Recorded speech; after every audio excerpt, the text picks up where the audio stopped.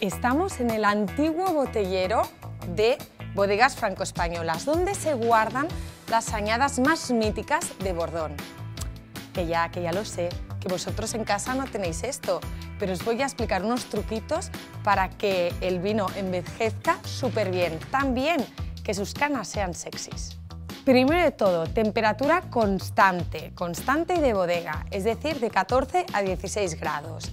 Que haya humedad, un 75%. ¿Que por qué? ¿Qué os pasa cuando os dejáis un vino ahí olvidado en la nevera?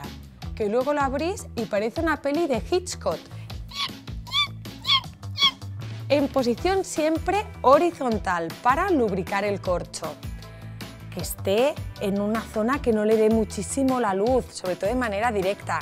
Ya sé que las botellas son oscuras para protegerlo, pero delante de un foco mucho tiempo, cualquier vino se vuelve loco. Y sobre todo, lejos de los bafles, que si no, vais a hacer que el vino hasta vuelva a refermentar.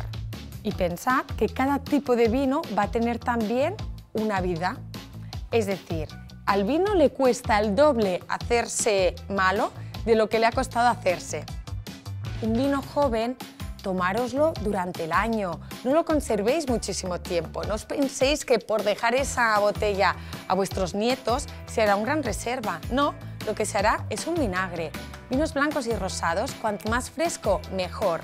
Y estos vinos que tienen crianza, pues si han estado tres años en madera, por ejemplo, y dos en botella, aguantarán como mínimo luego 15 pero siempre dependerá del potencial de la añada, del volumen alcohólico, de la tanicidad, de la acidez y del tipo de variedad.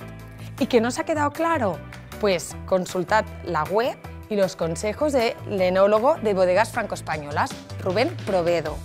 Y pensad que el vino no tiene una fecha de caducidad, sino tiene un momento óptimo de consumo.